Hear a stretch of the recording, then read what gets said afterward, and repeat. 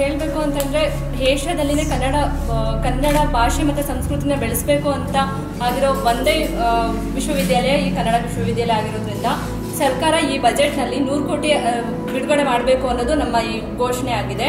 ಇದಕ್ಕಾಗಿ ನಾವು ಇಪ್ಪತ್ತೈದನೇ ತಾರೀಕು ರ್ಯಾಲಿನ ಇಟ್ಕೊಂಡಿದ್ದೀವಿ ಮತ್ತು ವಿಧಾನಸೌಧ ಚಲೋ ಮೂರನೇ ತಾರೀಕಿಗೆ ನಮ್ಮ ಬೆಂಬಲನೂ ಅದಕ್ಕೆ ಇದೆ. ಮತ್ತು ನಮ್ಮ ಒಂದು ಮನವಿನೂ ಅಲ್ಲಿ ಕೊಡ್ತಾ ಇದ್ದೀವಿ ನಾವು. ನೀವು ಕೇಳಿದ್ರಿ ಇವಾಗ ಏನು ಹಾಸ್ಟೆಲ್ದು ಏನೋ ಸಮಸ್ಯೆ ಇಲ್ಲ, ಮೂಲಭೂತ ಸಮಸ್ಯೆಗಳು ಅಂತ ಹೇಳಿದ್ರೆ ಫಸ್ಟು ಫೆಲೋಶಿಪ್ ನಮಗೆ ಮುಖ್ಯ ಆಗುತ್ತೆ. ಯಾಕಂದ್ರೆ ಸಂಶೋಧನೆ ಮಾಡಬೇಕು ಒಬ್ಬ ವಿದ್ಯಾರ್ಥಿ ಅಂತ ಅಂತ ಹೇಳಿದ್ರೆ ಯಾವ್ದು ಇರ್ಲಿ ಬಿಡ್ಲಿ ಫಸ್ಟ್ ಫೆಲೋಶಿಪ್ ಇರ್ಲಿ ನಾವು ಹೊರ್ಗಡೆ ಹೋಗ್ಬಿಟ್ಟು ಬುಕ್ಸ್ ಇವಾಗ ಬುಕ್ಸಿನ ಫೆಸಿಲಿಟೀಸ್ ಅವ್ರು ಕೊಡೋದಕ್ಕಾಗಲ್ಲ.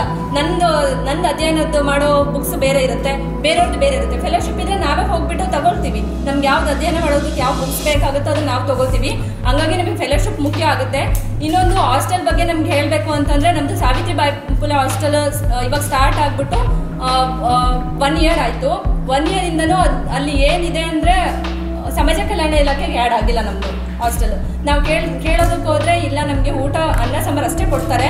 ಸೊ ನಾವು ಕೇಳಿದ್ರೆ ನಮಗೆ ಸರ್ ಈ ಥರ ಅನ್ನ ಸಾಂಬಾರು ಅಷ್ಟೇ ಆಗೋದಿಲ್ಲ. ನಮಗೆ ಪೌಷ್ಟಿಕವಾದ ಆಹಾರ ಬೇಕು, ಈ ಥರ ಕೊಡಿ ಅಂದರೆ ಯೂನಿವರ್ಸಿಟಿನಲ್ಲಿ ನಾವು ಹಾಸ್ಟೆಲ್ ನಡೆಸ್ತಾ ಇರೋದೇ ದೊಡ್ಡ ವಿಷಯ ಆಗಿದೆ. ಅದರಲ್ಲೇ ನಿಮಗೆ ಇದೆಲ್ಲ ಕೊಡೋದಕ್ಕಾಗಲ್ಲ ಅಂತ ಹೇಳ್ತಾರೆ. ಸೊ ನಮಗೆ ಸಮಾಜ ಕಲ್ಯಾಣ ಇಲಾಖೆಗೆ ಆ್ಯಡ್ ಆದರೆ ನಮ್ಗೆ ಒಳ್ಳೆ ಫೆಸಿಲಿಟೀಸ್ ಎಲ್ಲ ಸಿಗುತ್ತಲ್ವಾ ಅಂತ ನಾವು ಕೇಳಿದ್ದೀವಿ ತುಂಬ ಸರಿ ಮನವಿನೂ ಮಾಡ್ಕೊಂಡಿದ್ದೀವಿ ಅದಕ್ಕೆ ಸಿಂಡಿಕೇಟ್ ಮೆಂಬರ್ ಸಹ ಎಲ್ಲರಿಗೂ ಮನವಿ ಮಾಡಿದ್ದೀವಿ ಎಲ್ಲ ಬಂದು ಹೋಗಿದ್ದಾರೆ. ಅಂದರೆ ಇತ್ತೀಚಿನ ದಿನಗಳಲ್ಲಿ ಏನಾಗಿದೆ ಅಂತಂದರೆ ಅಲ್ಲಿರುವಂಥ ಪ್ರಾಧ್ಯಾಪಕರು ಯಾವುದೂ ಕೂಡ ಬಾಯಿ ಬಿಸ್ತಾ ಇಲ್ಲ. ಬಹುಶಃ ನನಗೆ ಅನಿಸಿದ್ದು ಏನಂತಂದ್ರೆ ಇತ್ತೀಚಿನ ಹೆದರ್ತಾ ಇದ್ದಾರೆ ಅಂತ. ಅಂದರೆ ಇತ್ತೀಚಿನ ಏನು ಆರ್ ಎಸ್ ಎಸ್ನ ಪ್ರಭಾವ ಏನಿದೆಯಲ್ಲ ನಮ್ಮ ಕನ್ನಡ ವಿಶ್ವವಿದ್ಯಾಲಯದ ಪ್ರಾಧ್ಯಾಪಕರ ಮೇಲೆ ಅದು ಪರಿಣಾಮ ಬೀರ್ಬೋ ಬೀರಿರ್ಬೋದು ಅಂತ ಅನಿಸಿದಾಗ ಯಾರು ಕೂಡ ಮಾತಾಡ್ತಿಲ್ಲ. ನಮಗೆ ಯಾಕೆ ಬೇಕಾಗಿದೆ ಯಾಕಂದ್ರೆ ಸುಮಾರು ಒಂದೂವರೆ ಲಕ್ಷ, ಎರಡು ಲಕ್ಷ ರೂಪಾಯಿ ಅವರು ಸಂಬಳ ತೊಗೊಳ್ತಿರೋ ಜನ ಆಗಿರೋದ್ರಿಂದ ನಮಗೆ ಯಾಕೆ ಬೇಕಾಗಿದೆ ಅನ್ನೋಂಥ ಪರಿಸ್ಥಿತಿ ಅವ್ರಿಗೆ ಬಂದಿರ್ಬೋದು. ಆದರೆ ಅದು ಸರಿಯಲ್ಲ ಅಂತ. ಯಾಕಂದರೆ ಕನ್ನಡ ವಿಶ್ವವಿದ್ಯಾಲಯ ಅದು ಕೇವಲ ಸಂಬಳ ಕೊಟ್ಟು ಕೆಲಸ ಮಾಡಿಸುವಂಥ ಒಂದು ಇದು ಏನು, ಕನ್ನಡ ವಿಶ್ವವಿದ್ಯಾಲಯನಲ್ಲ.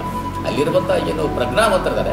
ಪ್ರತಿಯೊಂದು ಸಂದರ್ಭಕ್ಕೆ ಸ್ಪಂದಿಸಬೇಕಾದಂಥದ್ದು ಕರ್ತವ್ಯ, ಆ ಕರ್ತವ್ಯ ಇತ್ತೀಚೆಗೆ ಅವರು ಮರೆತಿದ್ದಾರೆ ಅಂತ. ಏನೋ ಕೆಲವರು ಯಾರು ರಾಮ ತರ್ಕೇರಿ ಅಂತವರು ಯಾರು ಚಂದ್ರ ಪೂಜಾರಿ ಅಂತವರು ಟಿ ಆರ್ ಚಂದ್ರಶೇಖರ್ ಅಂತವರು ಅಲ್ಲೆಲ್ಲೇ ಮಾತಾಡೋದು ಬಿಟ್ಟರೆ ಇನ್ನು ಉಳಿದಂಥವ್ರು ಯಾರು ಕೂಡ ಮಾತಾಡ್ತಿಲ್ಲ ಇನ್ನೂ ಒಂದು ಪ್ರಶ್ನೆ ಇದೆ. ನಮ್ಮಲ್ಲಿ ಭಾಳ ಜನ ನಮ್ಮ ದಲಿತ ವಿದ್ಯಾರ್ಥಿಗಳು ಮಾತಾಡ್ತಾರೆ. ನನ್ನ ಹತ್ರ ಮೊನ್ನೆ ನಾನು ಕನ್ನಡ ವಿಶ್ವವಿದ್ಯಾಲಯದ ಕೆಲವು ಹಾಸ್ಟೆಲ್ಗೆಲ್ಲ ಹೋದಂಥ ಸಂದರ್ಭದಲ್ಲಿ ಹೊರಗಡೆ ದಲಿತರ ಬಗ್ಗೆ ಭಾಳ ಚೆನ್ನಾಗಿ ಮಾತಾಡ್ತಾರೆ. ಆದರೆ ಇಲ್ಲಿ ನಮ್ಮ ದಲಿತ ವಿದ್ಯಾರ್ಥಿಗಳ ಬಗ್ಗೆ ಏನೂ ಮಾತಾಡೋದಿಲ್ಲ. ಇಲ್ಲಿರುವಂಥ ದಲಿತ ಪ್ರಾಧ್ಯಾಪಕರು ಅನ್ನುವಂಥ ಅಭಿಪ್ರಾಯನೂ ಕೂಡ ನನಗೆ ಅಲ್ಲಿ ಹೇಳಿದರು. ಇದು ಇರುವಂಥದ್ದು.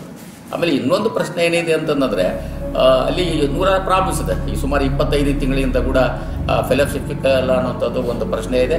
ಇದಕ್ಕಿಂತ ಮುಂಚೆ ನಿಮಗೆ ಗೊತ್ತಿದೆ ಕಳೆದ ವರ್ಷ ನಾವು ಒಂದು ಹೋರಾಟ ಮಾಡಿದಂಥ ಸಂದರ್ಭದಲ್ಲಿ ಕೆಲವು ವಿದ್ಯಾರ್ಥಿಗಳು ಟಾರ್ಗೆಟ್ ಮಾಡಿದ್ದಾರೆ. ನೀವು ಹೋರಾಟಕ್ಕೆ ಹೋಗಿದ್ರಿ ಅಂತ ಟಾರ್ಗೆಟ್ ಮಾಡಿದ್ದಾರೆ. ಇನ್ನು ಕೆಲವ್ರಿಗೆ ಏನಾಗಿತ್ತು ಅಂತಾರೆ, ಅವ್ರಿಗೆ ಪಿ ಎಚ್ ಡಿಕ್ಲೇರ್ ಆಗಬೇಕಾಗಿತ್ತು, ಇವತ್ತಿನವರೆಗೆ ಡಿಕ್ಲೇರ್ ಮಾಡ್ತಾ ಇಲ್ಲ. ಅವತ್ತಿನ ಸಂದರ್ಭದಲ್ಲಿ ನೀವು ಮುಂಚೂಣಿಯಲ್ಲಿ ಇದ್ರಿ, ಅವತ್ತು ಹೋರಾಟ ಮಾಡಿದ ಸಂದರ್ಭದಲ್ಲಿ ನೀವು ಇದ್ರಿ ಅಂತಂದೇಳಿ.